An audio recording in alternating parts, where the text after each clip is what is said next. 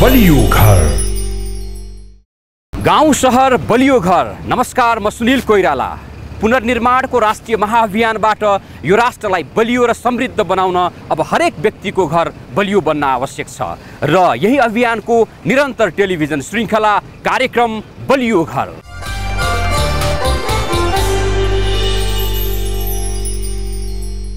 भूकम्पबाट क्षति पुगेका करिब सात लाख घरको बलियो पुनर्निर्माणका लागि भन्दै नेपाल सरकारले इन्जिनियर तथा सब इन्जिनियरहरूलाई भूकम्प प्रतिरोधी घर निर्माणका लागि आधारभूत तालिम प्रदान गरिसकेको छ।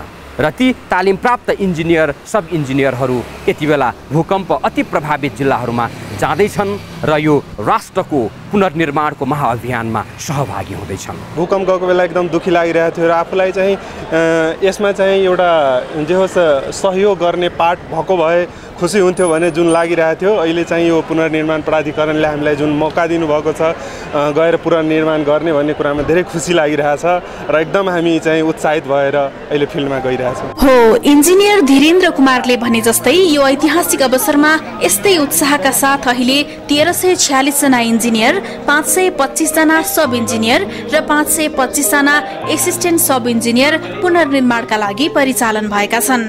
नेपाल सरकार राष्ट्रिय पुनर्निर्माण प्राधिकरण शहरी विकास मन्त्रालय तथा भवन निर्माण विभाग अन्तर्गतको केन्द्रीय आयोजना कार्यान्वयन इकाइको आयोजना र भूकम्प प्रविधि राष्ट्रिय समाज नेपाल अन्तर्गत बलियो घर कार्यक्रमको प्राविधिक सहयोगमा पहिलो चरणमा इन्जिनियर पछिल्लो चरणमा सब इन्जिनियर र एसिस्टेन्ट सब इन्जिनियरहरूलाई आवास पुनर्निर्माण सम्बन्धी आधारभूत तालिम दिएर गाउँ गाउँमा पठाइँदैछ। पुनर्निर्माणमा खटिने उनीहरूले आवास पुनर्निर्माण सम्बन्धी आवश्यक आधारभूत ज्ञान यो दुई दिने तालिमबाट प्राप्त गरे।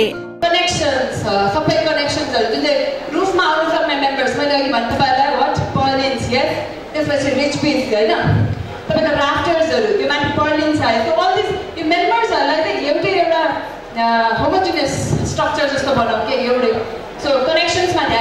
गोर्खा भूकम्पबाट अति प्रभावित बनेका जिल्लाहरूमा घर भवनहरूको पुनर्निर्माणका लागि अहिले सरकारी तथा गैर सरकारी क्षेत्रबाट विभिन्न प्राविधिक सरसल्लाह दिइँदै आइएको छ।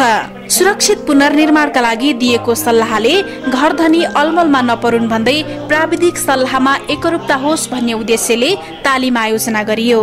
कसैले गएर के भन्ने कसैले गएर के भन्ने त्यो अदरबलको अवस्था सिर्जना हुन दिनु हुँदैन। सबैले भन्ने कुराहरू हामी प्राविधिकले भन्ने कुराहरू कमसेकम सबैले एउटै कुरा भन्नुपर्छ। भन्ने हाम्रो त्यो। यहाँले भन्ने कुरा पनि सय ठाउँमा सय थरीको कुरा नहोस्। सय ठाउँमा एकै थरीको कुरा होस् भन्ने सोचाइ छ। त्यस कारणले गर्दाखेरि यस्तो तालिम चाहिँ हामी धेरैभन्दा धेरै आयोजना गर्छौँ। सुरक्षित पुनर्निर्माणका लागि ध्यान दिनुपर्ने मुख्य पक्ष नै प्राविधिक ज्ञान हो। सम्बन्धित घर धनी र डकर्मीलाई घर निर्माण सम्बन्धी प्राविधिक ज्ञान बाँड्ने दायित्व अब यिनै प्राविधिकहरूको हो। यसैलाई व्यवहारमा उतार्न उनीहरू यति बेला फिल्डमा छन्। फिल्डमा उनीहरूको अर्को मुख्य दायित्व भनेको सर्वसाधारणका आवास पुनर्निर्माणका लागि सरकारले सहायता स्वरूप दिने अनुदानका लागि सम्झौता कार्यमा सहयोग गर्नु हो। अनुदान सम्झौता भइसकेका स्थानहरूमा सम्बन्धित लाभग्राहीलाई घर निर्माण प्रक्रियाका बारेमा सरसल्लाह दिनु उनीहरूको अर्को महत्वपूर्ण जिम्मेवारी हो। पहिला डिपिसी लेभल बनाइसकेपछि त्यो डिजाइन नक्सा अनुसार बन्यो कि बनेन त्यो कुरा पनि उहाँहरूले चेक गर्नुहुन्छ। त्यसपछि अर्को किस्ताको लागि सिफारिस गर्नुहुन्छ। त्यस्तै दोस्रो किस्ता बनाएर यो घरको छानाको तहमा पुगिसकेपछि फेरि उहाँहरूले चाहिँ त्यसको निरीक्षण गरेर अनि अन्तिम किस्ताको लागि चाहिँ उहाँहरूले सिफारिस गर्नुहुन्छ। भन्दा यसरी अनुदान रकम वितरण गर्दा नै यो चरणबद्ध रूपमा गरेर अनिवार्य रूपमा भूकम्प प्रतिरोधी घर बनोस् पहिलेको भन्दा बलियो बनोस् भन्ने त्यो जुन अङ्ग्रेजीमा बिल्ड ब्याक बेटर अझ बलियो बनाऊ भन्ने जुन अवधारणा छ त्यस त्यसको प्रत्याभूत गर्ने उहाँहरूको मुख्य काम हो। यसका साथै घर धनीहरूलाई भूकम्प प्रतिरोधी घर निर्माण विधि घरको नमुना र निर्माण सामग्रीका बारेमा सूक्ष्म ज्ञान दिनेछन्। त्यस्तै निर्माण गरिएको घर भूकम्प प्रतिरोधी बने नबनेको प्रमाणित गर्ने जिम्मेवारी समेत उनीहरूको हुनेछ। यससँगै केन्द्रीय आयोजना कार्यान्वयन समिति जिल्ला स्तरको पुनर्निर्माण कार्यान्वयन इकाइ गाविस र घरधनीहरू बीचको समन्वय पनि उनीहरूले गर्नेछन्। अनुदान सम्झौता कसरी गर्ने त्यसमा उहाँहरूको भूमिका के हो भन्ने एक पक्ष छ भने अर्को चाहिँ प्राविधिक सहायता कार्यक्रममा उहाँहरूले कसरी सघाउनुपर्छ अनि त्यस्तै उहाँहरूको मात्रै सहयोगले कार्यक्रम नबन्ला। त्यहाँ अरू स्थानीय निकायहरूसँग संयोजन कसरी गर्ने र के कस्ता क्रियाकलापहरू कार्यक्रमहरू पुनर्निर्माणको अवधिभर गर्नुपर्छ भन्ने कुराको लागि एउटा सुरुवाती अभिमुखीकरण कार्यक्रम आवास पुनर्निर्माण सम्बन्धी आधारभूत तालिमबाट पुनर्निर्माणका सम्बन्धमा धेरै कुरा सिकेको उनीहरूले बताए। आफूले पढे जानेका ज्ञान सिप र जिल्ला स्तरबाट दिइने अन्य तालिमबाट प्राप्त ज्ञानका आधारमा अबको पुनर्निर्माण सुरक्षित हुने उनीहरूको विश्वास छ। हामी गाउँमा गएर कसरी काम सुरुवात गर्छौँदेखि लिएर विभिन्न किसिमको अरू ट्रेनिङहरू पनि बाँकी छन्। तर हामीलाई यो ट्रेनिङले चाहिँ धेरै सहयोग पुऱ्याएको छ। ट्रेनिङ लिँदाखेरि कलेजमा पढेको कुराहरू पनि याद आयो है। कले कलेजमा पढ्ने भयो अनि त्यस पछाडि फिल्डमा धेरै कुराहरू एप्लाई भएन। अब हुन्छ कि भन्ने आश छ कि? अझ हामी छ नि अब रिमोट एरियाहरूमा गयो भने अझ बढी युज हुन्छ होइन। बिल्ड ब्याक बेटर र बिल्ड ब्याक सेफर अर्थात् पहिलेको भन्दा राम्रो र बलियो घर बनाऊ भन्ने अवधारणालाई कार्यान्वयन गर्ने जिम्मेवारी इन्जिनियरहरूको काँधमा छ र यो जिम्मेवारीमा आफूहरू सफल हुने उनीहरू बताउँछन्। अवेरनेस गराउने र त्यो अब घर बनाउनको लागि चाहिँ अब उहाँहरूलाई सचेत बनाएर कसरी निर्माण गर्ने भन्ने एउटा हामीले चाहिँ मुख्य एउटा सास लिएरै जानुपर्छ। फेस गर्न सजिलो छैन र फेस गर्छौँ भन्ने पनि छ। हो गोर्खा भूकम्पपछि सबै नागरिक पुनर्निर्माणप्रति सजग छन्। घर भवन निर्माणमा राष्ट्रिय भवन निर्माण संहिताको महत्व पनि सबैले बुझ्दैछन्। यससँगै पुनर्निर्माणका लागि आवश्यक प्राविधिक ज्ञानलाई अंगीकार गर्दै अब सुरक्षित पुनर्निर्माण गर्ने योजनामा भूकम्प प्रभावितहरू छन्। तिर्खाएको व्यक्तिले पानी भेटाए जस्तै बलियो घर खोजिरहेका भूकम्प प्रभावित परिवारहरूका लागि यी प्राविधिकहरूको सहयोग निकै महत्वपूर्ण बन्नेछ।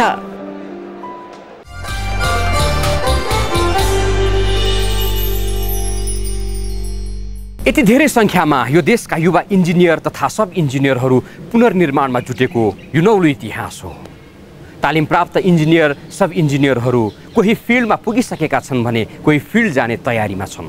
सहरी विकास तथा भवन निर्माण विभाग अन्तर्गतको केन्द्रीय आयोजना कार्यान्वयन इकाइले यी दक्ष तालिम प्राप्त इन्जिनियर सब इन्जिनियरहरूलाई आवश्यक थप निर्देशन र जिम्मेवारी दिएर फिल्डमा पठाउन तयारी गरिरहेको छ।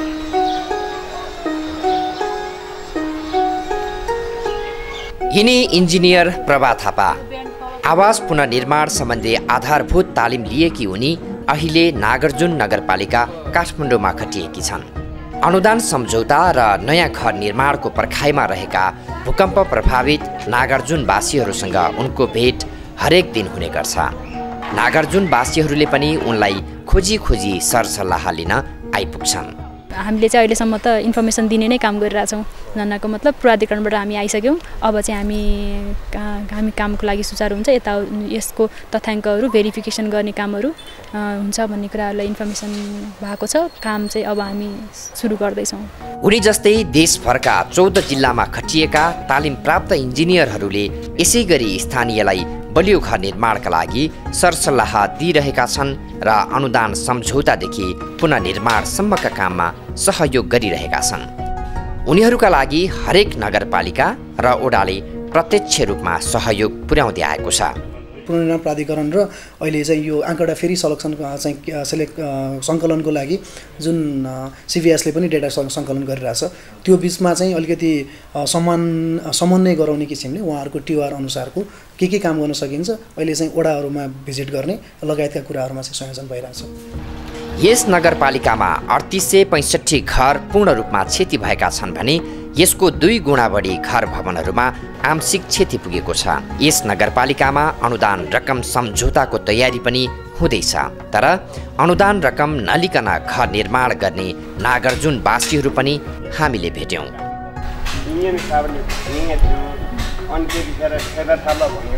यिनी सूर्यबहादुर गुरुङ। गोर्खा भूकम्पले भत्काएको बहिनी निरु गुरुङको घर निर्माणका लागि यहाँ छन्। सरकारले प्रदान गर्ने अनुदान रकम नलिकन उनले करिब घर निर्माणको काम सकिसकेका छन्। हर त हामीले जाने बुझेको जस्तो अब इन्जिनियर साहबले भन्नुभएको छ जुन किसिमले बनाउनु भनेर के अरे भन्नुभएको छ त्यही किसिमले बनाइदिएको छ त। भवन संहिताको चाहिँ पालना गर्नुभयो होइन? त्यो पालना पुरा छ। के के आधारमा चाहिँ यो घर बलियो भयो भनेर भन्न सक्छौँ हामी? यो अहिले बलियो भयो भन्ने आधार चाहिँ हामीहरूको अब पहिला जस्तै आठ इन्चीको पिलर हुन्थ्यो भने अहिले बाह्र इन्चीको भयो।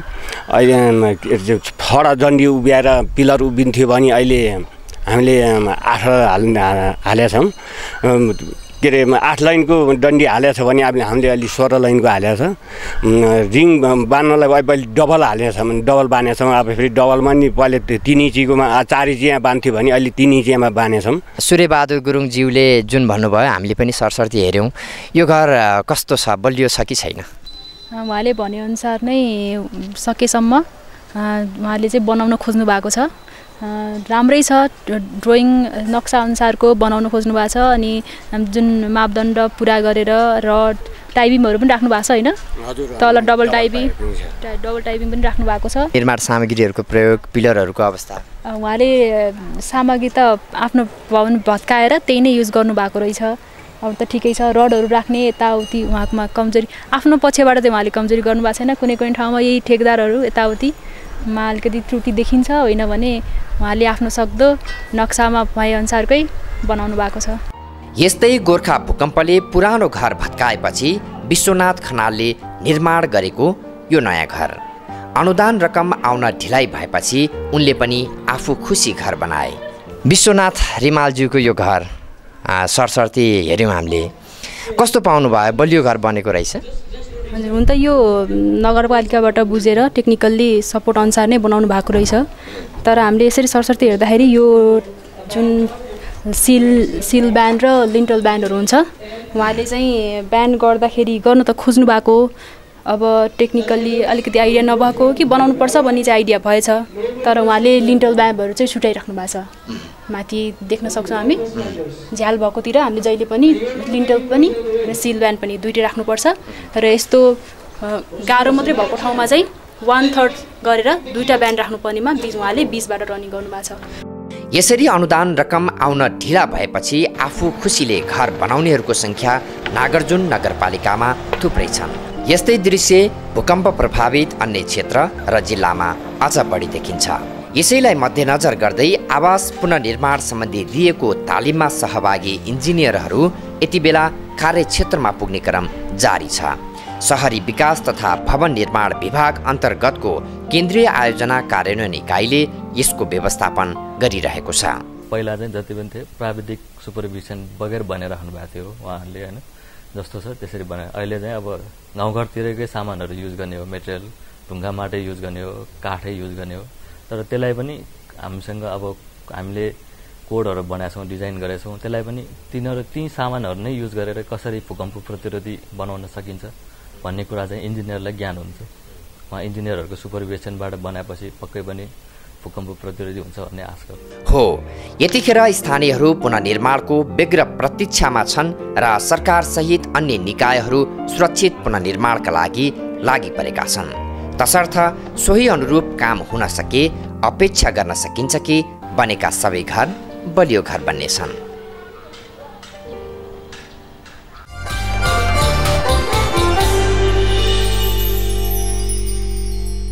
कहाँबाट ल्याउने होला रड? कहाँबाट ल्याउने? सिमेन्ट? भुइँचालो त हामी जस्तो गरिबको लागि अभिशापै रहेछ। वीरबहादुर दाई भुइँचालोले पनि धनी र गरिब भन्छ र फेरि किन चाहियो रड किन चाहियो सिमेन्ट? यसले मात्र घर सुरक्षित हुने होइन नि दाई। हाम्रै गाउँठाउँमा भएका काठ माटो ढुङ्गा इँटा बाँसले पनि त घर सुरक्षित बनाउन सकिन्छ नि दाई। ए हो र बाबु। तर त्यसको लागि सही विधि चाहियो। सरकारले भूकम्प प्रतिरोधी घर निर्माणका लागि गाउँ गाउँमा डकर्मी तालिम दिँदैछ जनचेतना फैलाउँदैछ। तसर्थ बेलैमा सचेत हुने र स्थानीय स्रोत सामग्रीको प्रयोग गरेर भूकम्प प्रतिरोधी घर बनाउने बुझ्नुभयो? पुनर्निर्माणको राष्ट्रिय महाअभियानमा सहभागी बनाऊ तालिम प्राप्त प्राविधिकको सल्लाहमा घर निर्माण गरौँ। सार्वजनिक हितका लागि नेपाल सरकार राष्ट्रिय पुनर्निर्माण प्राधिकरण।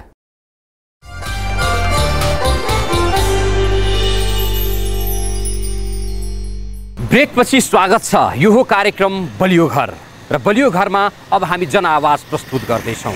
र आजको जनआवाजमा कुनै तालिम प्राप्त इन्जिनियर सब इन्जिनियरहरूलाई हामीले प्रश्न गरेका छौँ कि यो तालिमबाट तपाईँले के सिक्नुभयो र यसलाई व्यवहारमा अब कसरी उतार्दै हुनुहुन्छ? गएर के गर्ने कुन खालको भवनहरू चाहिँ निर्माण गर्ने मेटेरियल्सहरू के छन् कसो छन् भन्ने बारेमा चाहिँ जानकारी लिँदैछौँ हाम्रो मेन भूमिका भने हामी त्यहाँ गएर कोअर्डिनेसन गर्नुपर्ने छ तर त्यहाँ गएर चाहिँ एउटा रिकल पनि भयो। अनि प्लस अब सरकारी नीति नियमहरू कस्तो रहेछन् के एउटा सोच छ हाम्रो त्यो पुनर्निर्माणमा त्यो कुराहरू जान्ने मौका पायौँ।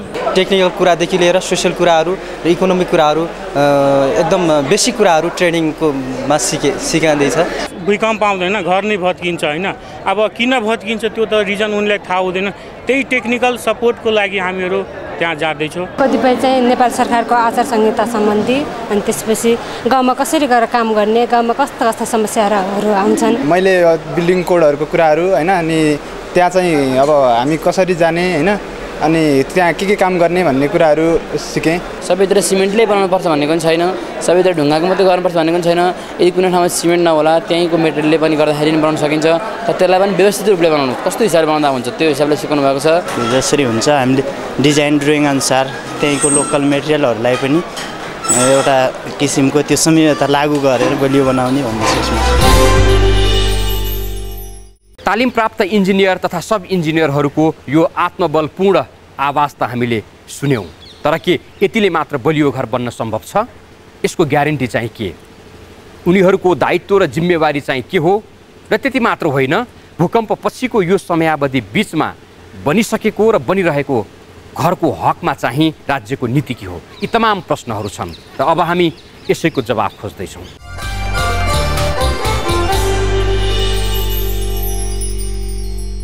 पुनर्निर्माण सम्बन्धी प्राविधिक विषयका विभिन्न जिज्ञासाहरू लिएर यति बेला म सहरी विकास मन्त्रालय अन्तर्गत केन्द्रीय आयोजना कार्यान्वयन इकाइ आइपुगेको छु र मसँग हुनुहुन्छ इकाइ प्रमुख शिवहरि शर्माज्यू यहाँलाई स्वागत छ।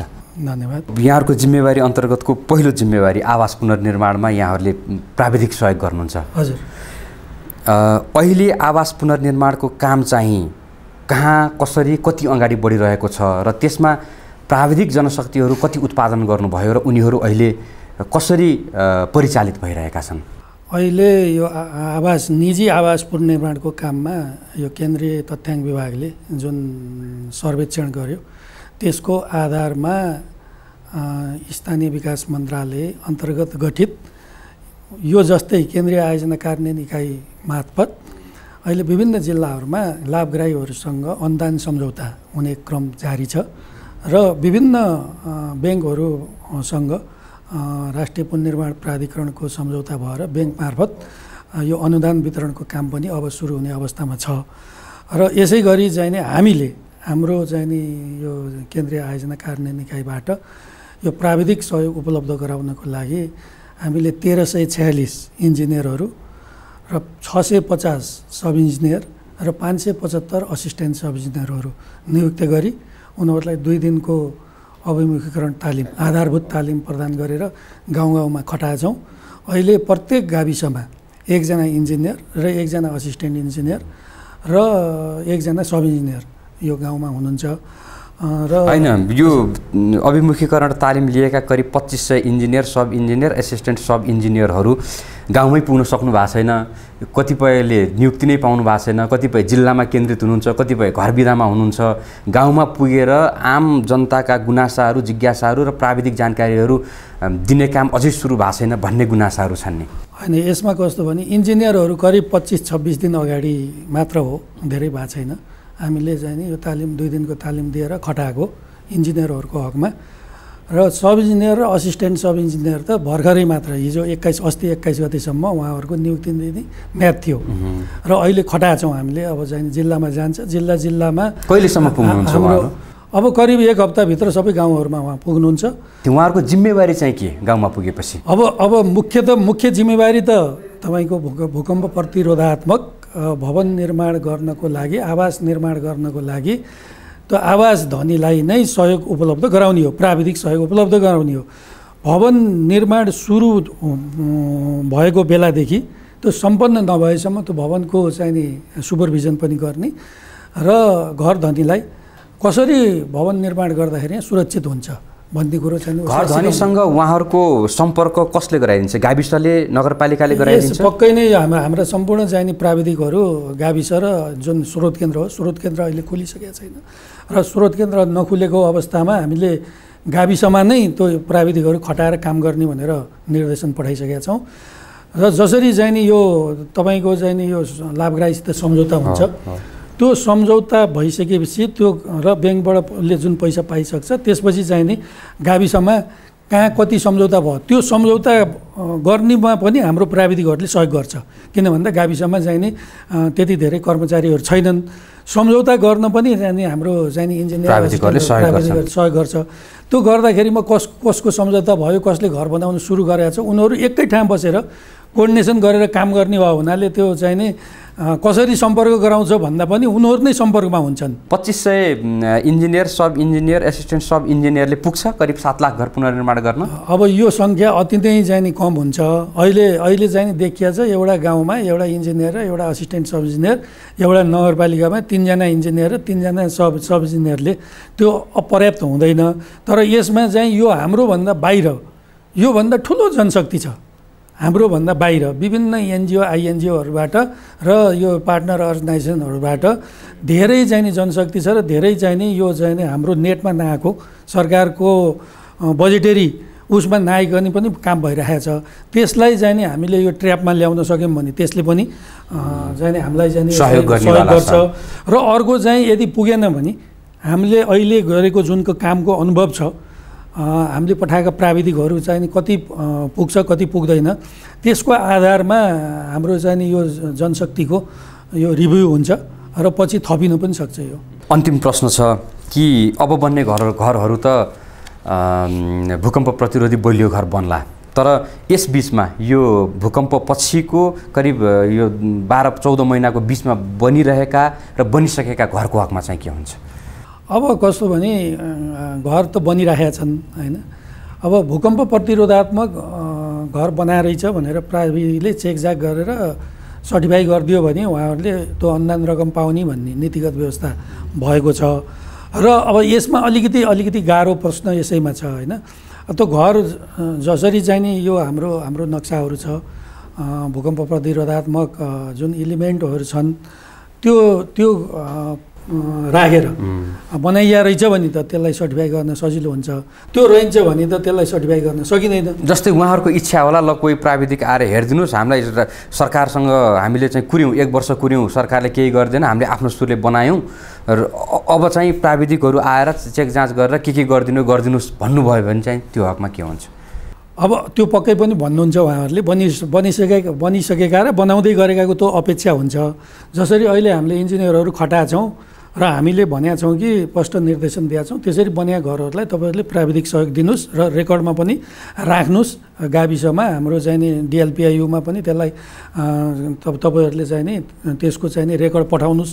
भनेर भनेका छौँ। त्यो भयो भने त अलिकति सजिलो हुन्छ। र बनिसकेको र चाहिँ नि त्यो भूकम्प प्रतिरोधात्मक इलिमेन्टहरू प्रयोग नगरी बनाएको घरले त पाउन त्यसलाई सर्टिफाई गर्न गाह्रो हुन्छ। र यही विषयलाई लिएर अहिले पुनर्निर्माण प्राधिकरणमा हाम्रो एउटा कमिटी जस्तो गठन भएर त्यसलाई कसरी डिल गर्ने भन्ने कुरोमा छलफल भएको छ।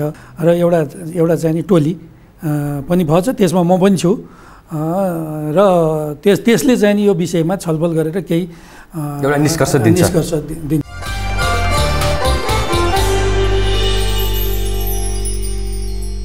यो कुराकानीसँगै कार्यक्रमबाट बिट मार्दैछौँ र बिट मार्ने बेला विश्व सम्पदा सूचीमा सूचीकृत पाटन दरबार स्क्वायरको भूकम्प अघि र पछिका दृश्यहरू तपाईँलाई देखाउँदैछौँ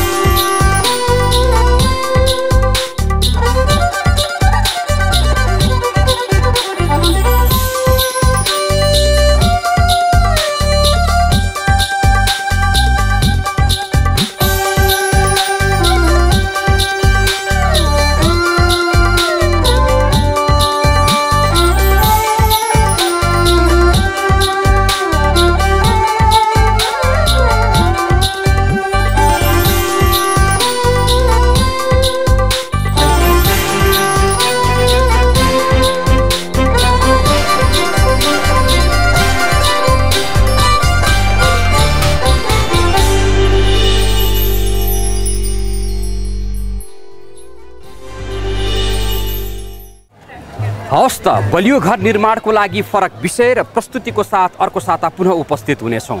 बलियो घर वर्षौँको भर नमस्कार।